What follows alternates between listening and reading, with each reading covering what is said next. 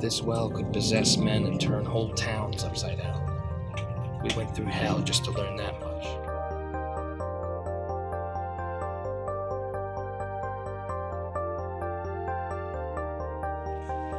Sometimes power chain reacts through people like Hitler's minions.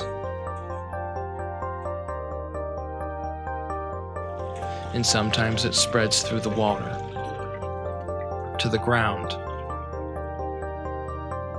to everything.